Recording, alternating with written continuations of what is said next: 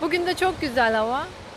Serinliyoruz, denize giriyoruz. Çok güzel. Herkese tavsiye ederiz. Atakent'e gelsinler. E, peki evlerde duruluyor mu bu havada? Yok hayır biz zaten kaçtık geldik. Evlerde durulacak gibi değil. Çok fena. Esmiyor hiçbir yer.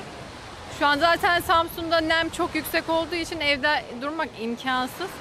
Sahil en güzeli. Herkes çıksın gelsin sahile. Biraz Denizin tadını çıkarmaya çalışıyoruz. Burası Atakum. Burada deniz dedi mi her şey çok güzel. Nasıl serinlemenin yöntemleri nelerdir mesela onlardan bahsedelim. Serinlemek için denize gireceksin. Deniz de çok güzel, sıcak.